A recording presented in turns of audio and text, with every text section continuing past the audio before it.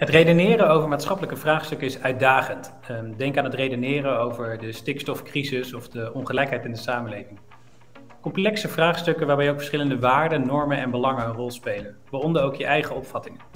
Eerder onderzoek toont aan dat mensen in het algemeen slecht redeneren. Ze maken overduidelijke fouten en zijn vaak bevoordeeld.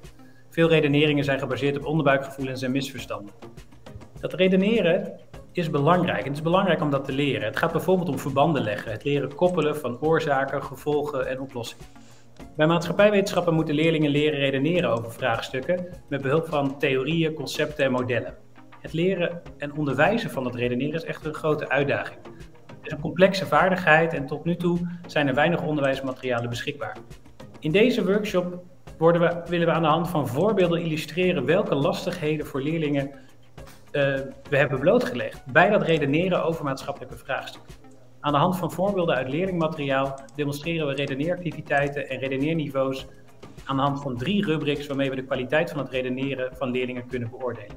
We geven handvatten om meer grip te kunnen krijgen op dat redeneren van leerlingen. En deze workshop is interessant voor docenten, leraaropleiders van alle vakken.